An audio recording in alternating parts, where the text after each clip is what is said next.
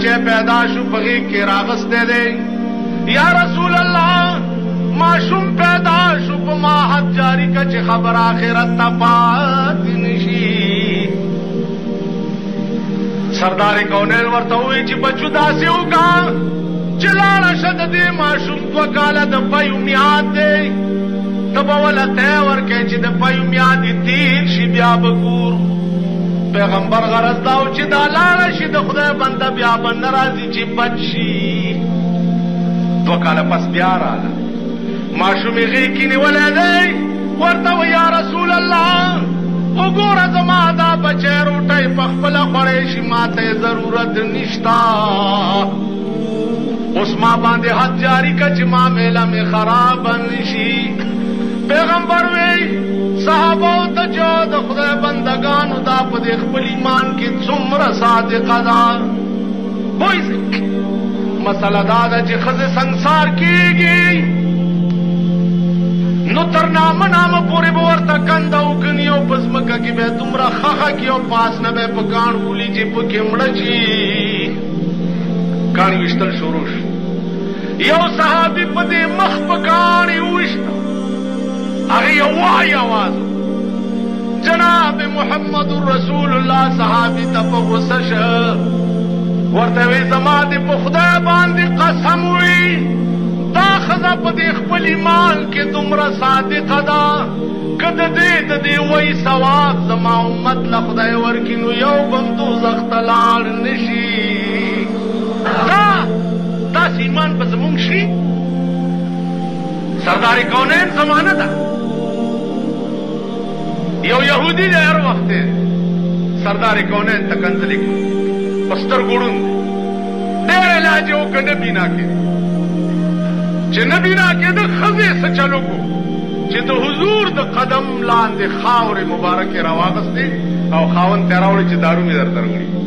سلایي پکې ګنده کړه سترګو کې واچوه یو کې چې بله کې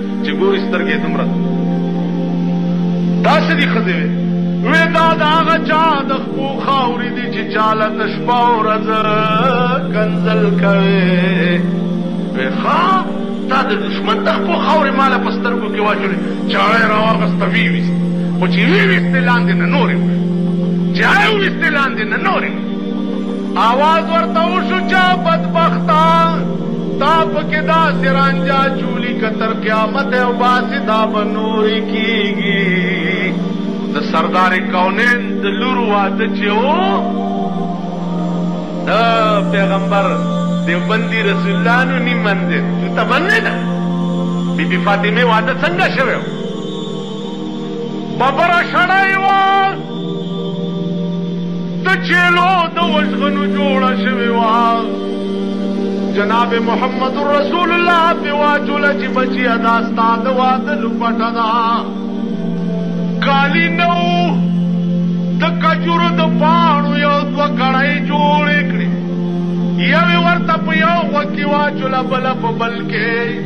ورته بچیا دا ستاد واد زیورات دی او ما زیګر ټیمو جناب محمد رسول الله د بی بی فاطمه نکاح په خپل د حضرت علی سره وتړل په خپل سنت طریقه دا ده چې پلار با د خپل لور نکاح په خپل تړي د بی بی فاطمه نکاح رسول الله په خپل وتړل او جینکۍ ورسره کړې او ورته وی چې فاطمه د حضرت علی کور ته بوځي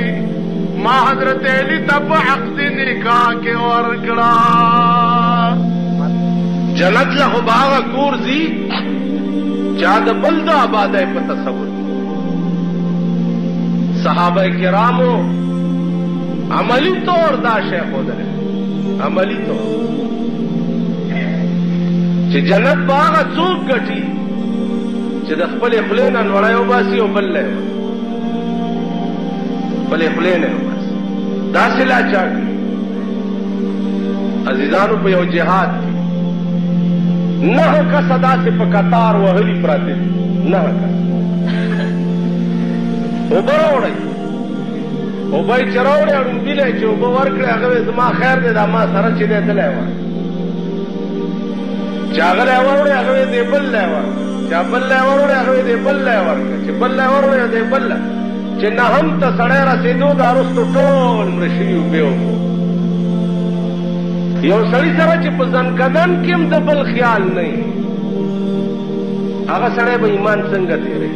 جنت خو د دغه خلکو ځای و